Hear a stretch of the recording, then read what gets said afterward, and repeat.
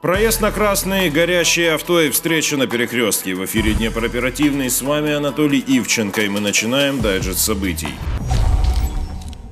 Летел с вами голову, думал, что успеет, но не повезло. На набережной Заводской случилось ДТП. Автомобиль Kia двигался в сторону центра и хотел повернуть. В этот момент на красный сигнал светофора пытался проскочить Porsche. Его водитель не справился с управлением и столкнулся с корейским авто. Удар был такой силой, что машину виновника откинуло на несколько метров от места происшествия. Несмотря на значительные повреждения, в аварии травмированных нет. На водителя Porsche составили админ Protocol. Улица горячих авто, огненный транспорт. На улице Калиновая случился пожар. Там загорелся автомобиль ВАЗ. На момент прибытия пожарных пламя повредило переднюю часть авто и уничтожило практически весь его салон. В результате инцидента никто не пострадал. Причины возгорания выясняются. Еще одно неожиданное воспламенение произошло на перекрестке Слобожанского проспекта и улицы Калиновой. Автобус двигался в сторону проспекта Каунышевского и внезапно задымился. Водитель остановил транспортное средства и высадил пассажиров. Затем он локализовал очаг возгорания и потушил его при помощи огнетушителя. По предварительной информации, произошло задымление электропроводки. В результате инцидента пострадавших нет. На место происшествия была направлена ремонтная бригада предприятия.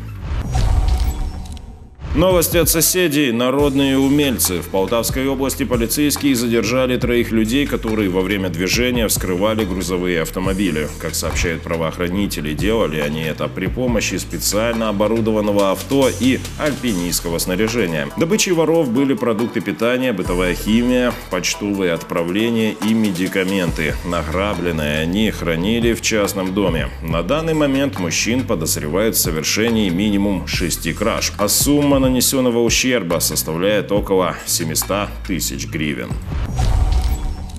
Подарок из ниоткуда оказался не в то время и не в том месте. Автомобиль «Газель» двигался в сторону жилмассива Игрень. В этот момент из-за сложных погодных условий дерево, которое росло у проезжей части, упало на дорогу и зацепило авто. В результате инцидента никто не пострадал. На месте происшествия работали полиция, ГСЧС и сотрудники коммунального предприятия.